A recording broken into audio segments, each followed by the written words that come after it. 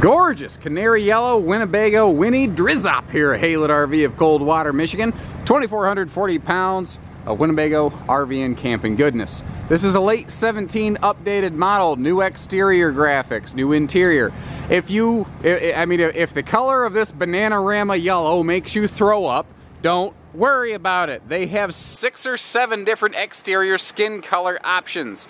There's white, platinum, champagne, red, blue, orange, obviously yellow. I think I missed one. I don't know. Um, so again, if you like everything except just the color of the exterior or interior, don't worry about it. We probably got a different one in stock. This is our very best selling Winnie Drop.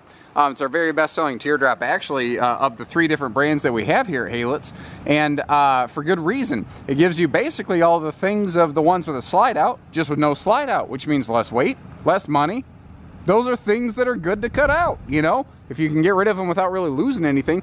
Now, they've, they've changed the whole exterior decal package up quite a bit, but it still looks awesome. It has such a classic vibe. Like, it almost reminds me of those old woody-sided, like, PT Cruiser things in a funny way.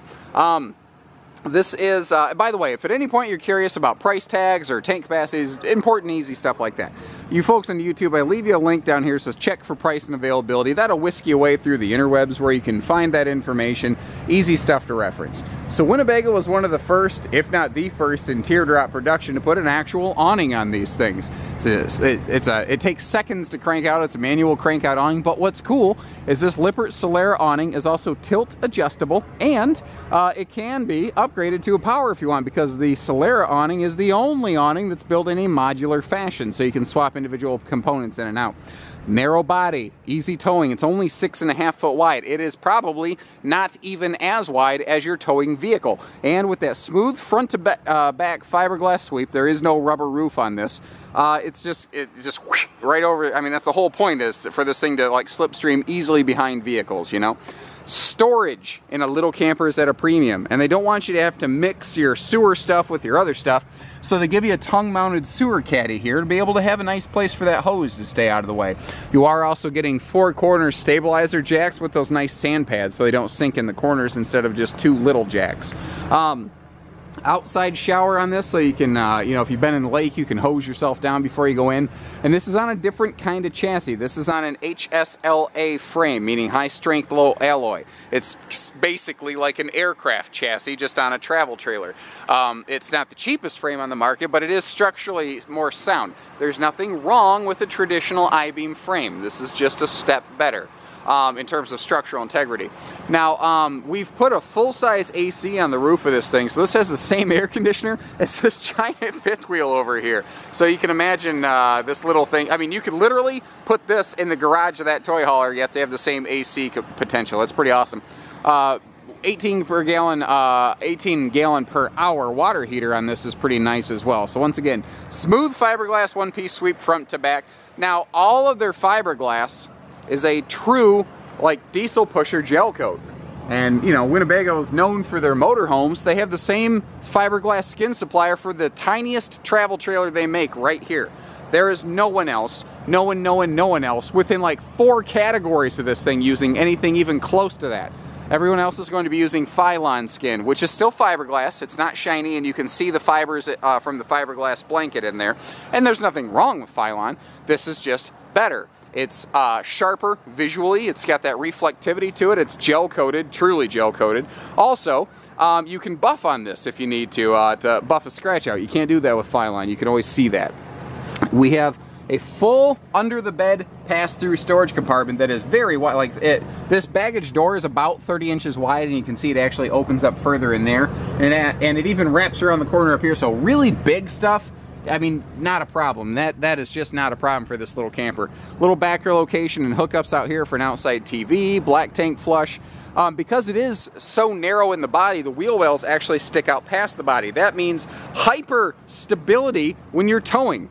Um, when when something's legs or wheels are outside of its body, it has more stability. That's so this thing tows very very well. And those are good looking aluminum wheels that no one ever complains about. Um, the uh, outside speaker system you see connects here to your stereo, so you do have good inside-outside entertainment. Um, the uh, entry door here is strutted, so that if you have your awning arms open, the door won't fly open and smash the awning sideways, which is the best way to ruin your awning in case you were curious. No slides means no carpet, means easy cleaning. Uh, that's a nice thing about these little guys. They're very easy to clean. Um, again, if you like everything except this interior decor, remember there's other interior decors available. I, I, I want to call this like, I don't even remember what it's called. Doesn't matter. I want to say like graphite. I think that's what it's called. Doesn't matter. It's got what I call this like chocolate milk skin on the uh, the seating um, with very, you know, cool, modern, high contrasting, um, you know, fabrics over here. Pretty normal stuff. They added this little shelf overhead here that was not always here in present models that they built in the past. Um, it's a somewhat recent addition, just that extra little nudge of storage. But I do like these cross breeze and light windows here, and they all have pleated shades. This is a freestanding dining table, so if you want to take that thing outside as a picnic table, you can do that. It'll fit through the door, and obviously it'll fold down into a sleeper position. Um, you also have uh, storage below your bench over here you can get to from inside or outside. Um, spinning around, you know, for a no slide camper, it's actually got a pretty fair kitchenette. It's really not terrible. I was quite impressed by that. We're going to start up here. Part of our entertainment center is over here, AM, FM, CD, DVD, Bluetooth player. We like to add the TV option into these. That sits right next to your dinette. This is not standard. This is something we add, but we've literally never had one in stock without one. So pretty fair chance the one we have in stock has this in it. This is generally the equipment loadout we'll have, but we might have different fabrics or different exterior skin. Like I said, the red, the blue, the every color looks good on these drops. They all look good. Um, uh, they're pretty generous with their LED lighting in here. They've got like six, seven LED lights in this little box. Now, what I do like is they didn't go with a giant stove and oven because you don't need an oven that's going to heat up this little thing. They gave you just a little basic stove top one high output, one low output burner. So, you know, you, you got big things you want to cook, great. You got little stuff you want to keep warm, right there. They went with a single basin sink to give you some countertop space because you, you got to have some somewhere. But they did leave you appliance plugs for accessories. Um, you still have a couple nice drawers, and I've seen big fifth wheels with no drawers before. So the fact that they actually included a couple drawers in this little thing is great. Um, arguably, I think you actually get more cupboard space in this little thing than the 1780, which is essentially the exact same floor plan, but the kitchen's in a slide out. The 1780 is going to give you more space, but you're not going to get more function. It'll just widen up a little bit right there. Gas and electric fridge and freezer, so you can take this thing anywhere you want. And this is a convection microwave, so instead of a full oven, you want bigger, smaller, quick meals or whatever, this is a, a, a dual purpose appliance right here, with just bonus storage above. Um, this is a six and a half foot trailer, so we've got a max width bed back here. They couldn't have put a bigger bed in it. And they do have a nice little storage pocket below the bed down here as well. Uh, cross breeze windows on both sides of the bed too, and you do have privacy shades all the way around. Now this is uh, something here, there's a couple hidden benefits to this people don't realize. The, the dry bath right here, as it's called, um, very space efficient, and in a little trailer like this, there's just no other game in town. If you if you love everything about a Winnie Drop except this little bathroom, they do make a full rear bathroom model. Um, um, the model number escapes me at this point, but it does exist. Now, uh, you don't really have shelf space in here, so they gave you these nice little shower caddies for your shampoos and things like that. Uh, foot flush stool, by the way. Teeny tiny little sink, but just enough to get you through. Um, what's kind of cool is you've got this power vent fan right here, and you've got a slotted airflow door. And that's why your switches for this fan are out here. You can open the fan and turn it on when you're laying in bed. So if you're laying in bed and you're just feeling like you need to get some extra airflow going through these cross breeze windows, you can open that vent and turn that on and start getting air pulled out of here and getting cool air at night rolling right across you up here. These are cool little campers. They're uh, very, very different, fun little things.